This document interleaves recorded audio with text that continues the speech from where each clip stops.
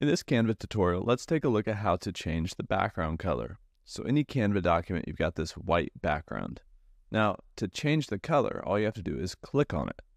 Then, in the upper left here, you'll see background color.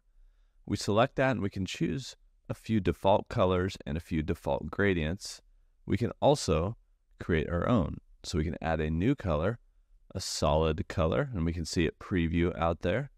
Or we could even add a gradient and choose whether it's a circular gradient or a linear or any of these other options here to kind of mess with the gradient. We can choose our gradient colors and we can even add more gradient colors to this gradient. So it's a pretty cool way to add gradient and color to your background. And then whenever you have this selected, you've added that color so you can reuse it or add some of your brand colors if you're working with brand assets and you have like a style guide, etc. But yeah, I mean, you have all these cool little quick uh, gradients down here. And then you could just go up and click on that linear gradient up here and adjust like the angle of it and kind of change and tweak some of these things. But that is how you can add color to your background here in Canva.